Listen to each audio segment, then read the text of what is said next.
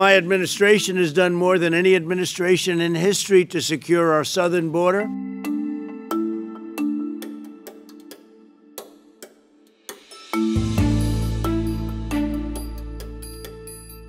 We're building the wall.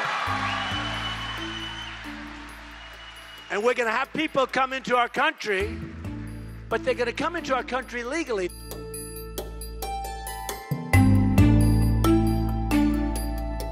The numbers now, including not only the wall, the wall has helped a lot.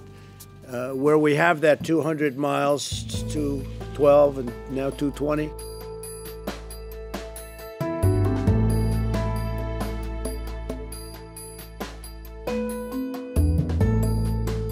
They're going to pay for the wall and they're going to enjoy it.